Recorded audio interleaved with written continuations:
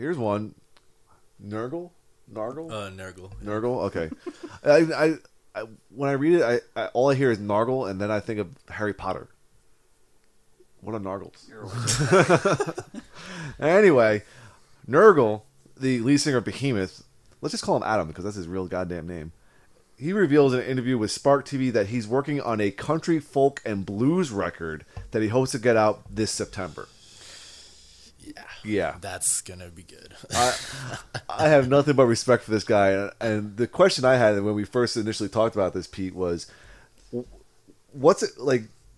We we think of when we think about blues, I think like American blues or or British blues. Does Poland have their own version of the blues? Is this going to be like a Polish country, a Polish folk record? Is he going to be singing in Polish? Is he going to be singing in English? Like, what is this going to be about? Yeah. And and my response to that was it, it doesn't fucking matter Yes, because it's, it's- that's it's- absolutely right. Because Nurgle is so talented that I look.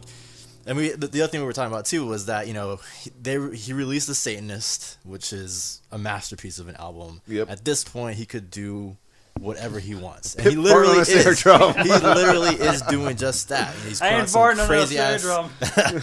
no. Okay, maybe not that.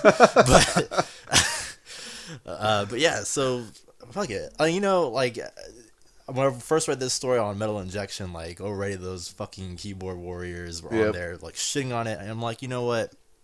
Just at least wait for this fucking album to come out first before you start talking trash. Like, I don't know. I I'm actually pretty excited about this. I'm really eager to see what he comes up with. I'm here. always eager to see what, uh, what's it called, metal guys do outside of the metal genre. I mean, sometimes it's not necessarily good, but when it is good, it's really good.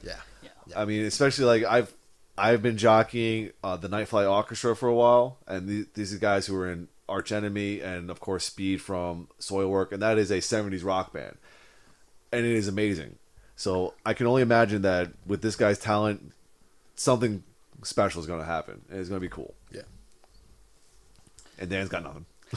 My whole the whole time I was like, Nurgle sounds like Nermal. Like That's that's what I thought too first, honestly, like the Garfield cartoon. We're gonna send that bitch to Abu Dhabi. the world's cutest black metal singer.